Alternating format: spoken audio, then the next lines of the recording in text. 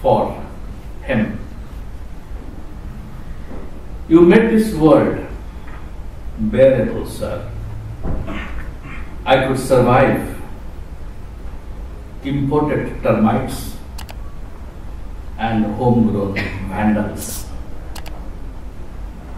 You made life a whole lot simpler, sir, by making me see reason in the circumambulations I take to stay wherever I am.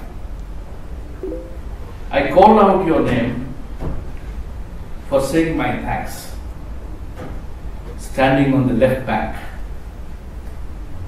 as a drunken moon made fun of all forms of arts, and poets like common louts fought for women and imagery.